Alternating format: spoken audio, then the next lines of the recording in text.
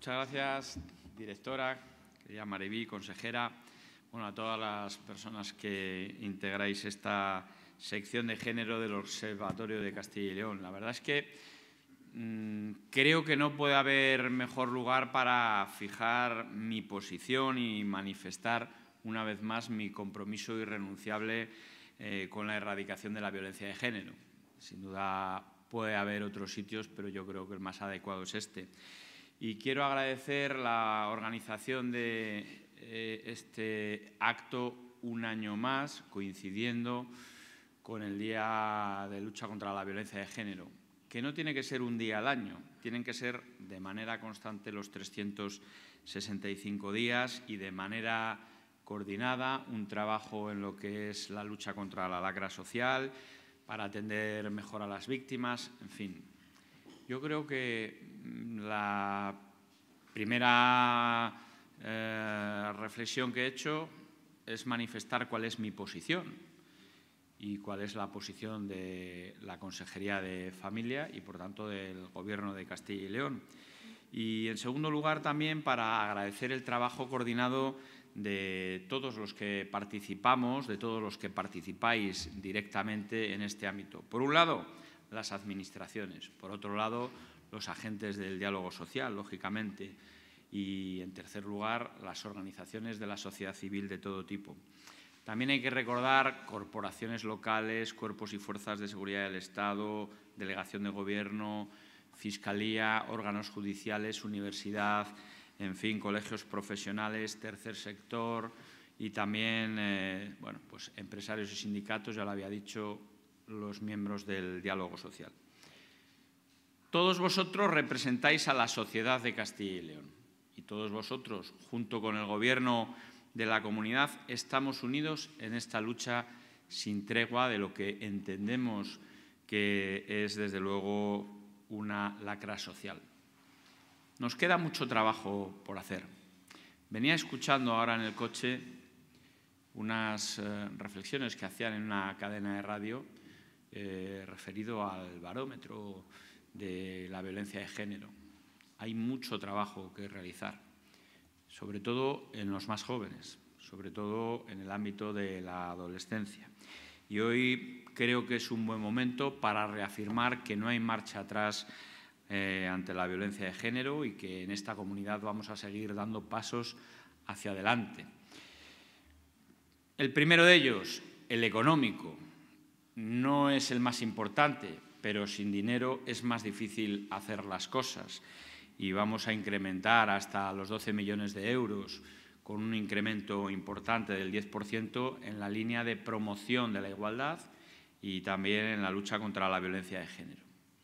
En segundo lugar, vamos a aumentar la financiación por plazas en las casas de acogida, una media del 50%, eh, facilitando que las mujeres y los menores con ellos a su cargo tengan una atención más cercana, de manera inmediata y, sobre todo, de más calidad y personalizada. Creo que es una labor la que se realiza por las casas de acogida importantes.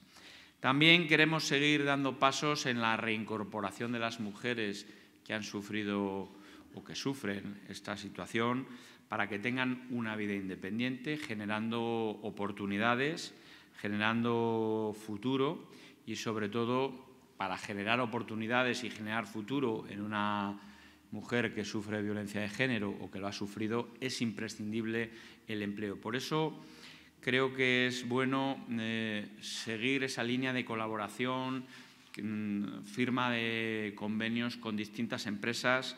Eh, vamos a sumar a los acuerdos al Grupo Pascual, CaixaBank, Gaza, lo tenemos ya con Gullón, lo tenemos con Caja Rural de Zamora, con FCC, con Execil, cinco patronales del transporte por carretera y vamos a seguir en esta línea para ir incorporando cada vez más empresas.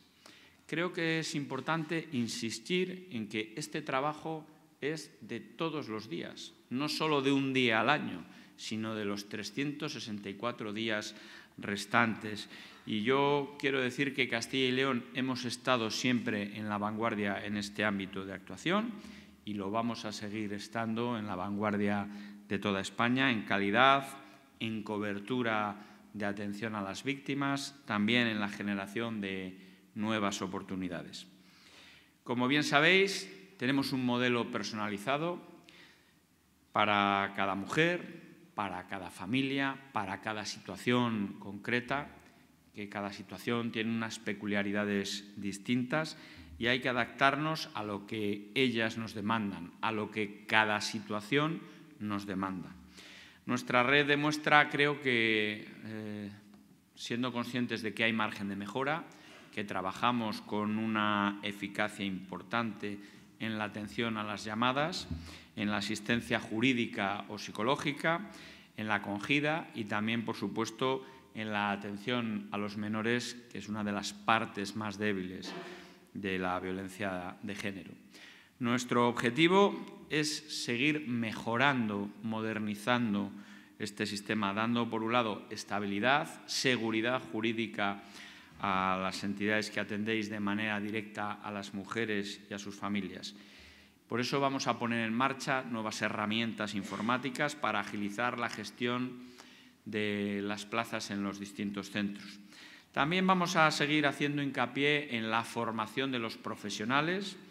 Eh, estamos hablando de una cifra este año de 4.700 personas que han recibido formación en este ámbito para que den la mejor atención a las víctimas y a sus familiares.